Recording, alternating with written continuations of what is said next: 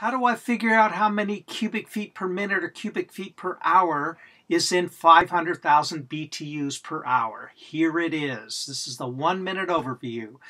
The most common unit for measuring natural gas is a therm. A therm is 100,000 BTUs.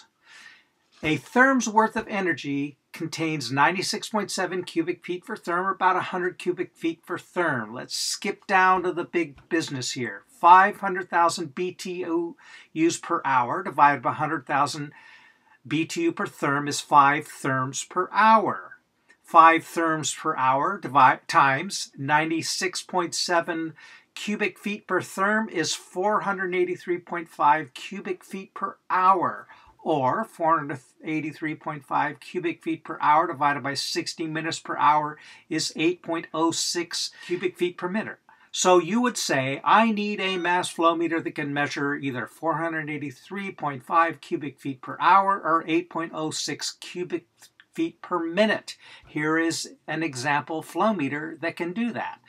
This one happens to be 20 CFM, so this can go many times more than this. So you'd order a flow meter similar to this one. Here is a 10 SCFM a little more than our 8.06. You can have any flow rate you want. But here's a 10 CFM. You can get it in aluminum, stainless steel, or nylon 66. In Japan, the most common material they use is nylon 66, and Japan is headlining this sort of thing because they had the Fukushima disaster.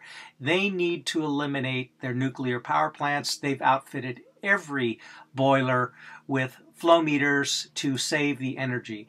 This is the most common type of flow meter used for measuring boilers, small boilers. So here is the flow meter, one exemplary flow meter. This is what the display looks like on the flow meter.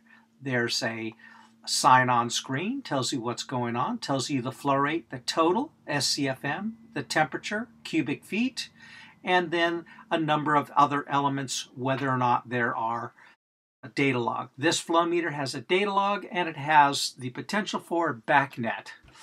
All right, thank you very much. And now you know how to determine how many cubic feet there are in BTUs per hour. Thank you very much.